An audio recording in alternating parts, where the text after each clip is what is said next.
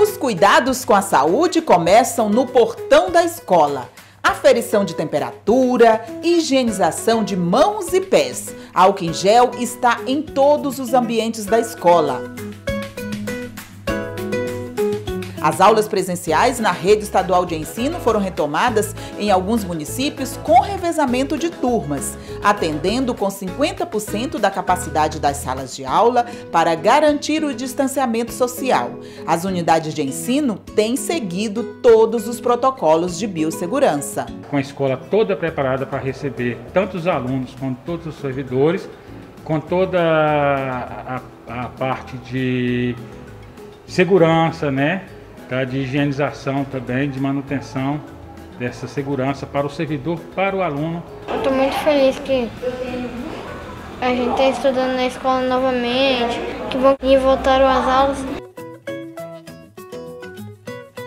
No refeitório, todos os cuidados necessários. Os estudantes são acomodados por turmas e ficam em mesas separadas. Eu trago sempre três máscaras, duas máscaras outras reservas.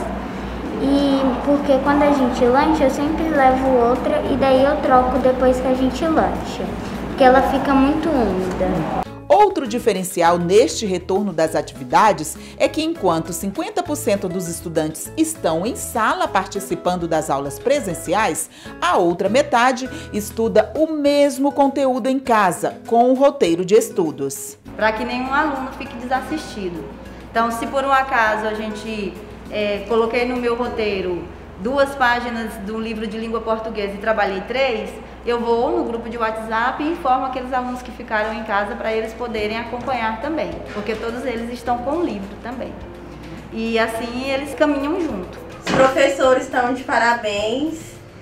Sempre que a gente precisa, eles estão ali, estão se esforçando, né?